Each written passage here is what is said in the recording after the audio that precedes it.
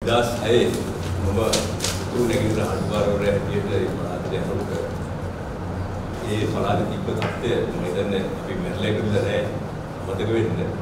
මොකද අපිට ඒ පළාතේ එක්ක ප්‍රදේශවලට යන්න වාතාවරණයක් තිබෙන්නේ. ඒ පළාතේ ඉන්න මිනිසුන්ට මේ පැත්තට එන්න වාතාවරණයක් තිබෙන්නේ. හැමතිස්සෙම සෝදිසි කරනවා. හැමතිස්සෙම රවුන්ඩ් අප් කරනවා. එහෙම නැත්නම් ඩෙන්ටිටි කාඩ් චෙක් කරනවා, රූට් බ්ලොක්ස් කියනවා. මේ යුද්ධය අවසන් වුණාට පස්සේ තමයි සංවිධානය ඇත්තටම ගොඩ නැගෙන්නේ. ඊට ඉස්සෙල්ලා සංවිධානයක් ඇත්තටම මේ රටේ තිබුණේ නැහැ. ඒ 2009 මයි මාසේ යුද්ධය අවසන් වුණාට පස්සේ තමයි සංවිධානය පටන් ගත්තේ. ඊට පස්සේ ජනතාව අතර ඉබේම ඒ අන්‍යෝන්‍ය විශ්වාසයෙන් නැති වුණා. මුස්ලිම් කට්ටිය සිංහල පැත්තට ආව සිංහල කට්ටිය දෙවල් පැත්තට ගියා ඒ කාලේ බස් 100 200 උතුම් නැගින පළාතට මේ අවුරුදු 30කට යනකොට ජනතාව ගියා. එතන තමයි සංවිධානය පටන් ගත්තේ.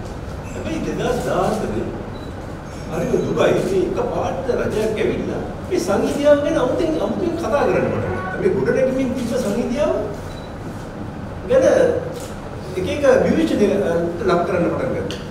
යම් කිසි සිද්ධි දෙකක් තුනක් කොළඹ පැත්තේ වුණා. දකුණු පළාතේ වුණා. හැබැයි ඒක ගොනු කරලා මේ පිට මේ පිටිම සංගීතයව නැති නෑ කියලා වෙනම ඒකට අවශ්‍ය කොමිටි දාලා සංවිධාන දාලා මේ සංවිධානය දැන් මම මම හිතන්නේ ඒ තිබ්බ තත්ත්වයට බොහොම දුර්වල තත්ත්වයකට ගෙනල්ලා තියෙනවා.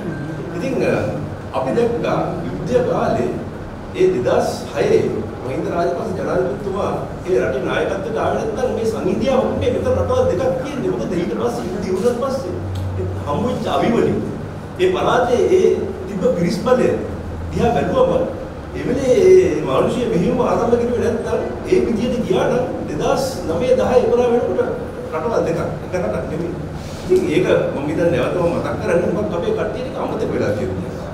ඒකම අන්තිමට අපිට තිබ්බ චෝදනාවක් තමයි අපි මේ දෙමළ ජනතාව දාස් ගණන් මැරුවා කියලා. 40000 මැරුවා කියලා මේ යෝජනාවක් කරා.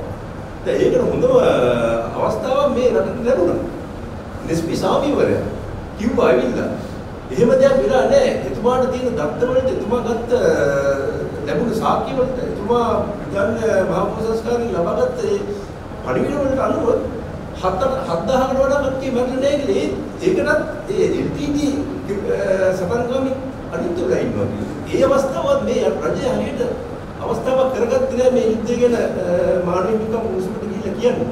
මොකද මේගොල්ලන් ගිහිල්ලා අර මේ ඉතිස්සලා කතා කරපු කත කියන්නේ මේ විදියට ඒ 31 යෝජනාව ගෙනාවට පස්සේ මේගොල්ලන්ට අනිත් පැත්තට හැරෙන්න බෑ දැන්. ගුරුවරට කියන්න පුළුවන් එකම දෙයයි ජනතාවට නොමගරින්න පුළුවන් මේකට අපි කිසි දෙයක් වෙන්න දෙන්නේ නැහැ කියන එක විතරයි. හැබැයි ඒ ඒ කර්තව්‍ය පටන් අරන් ඉවරයි.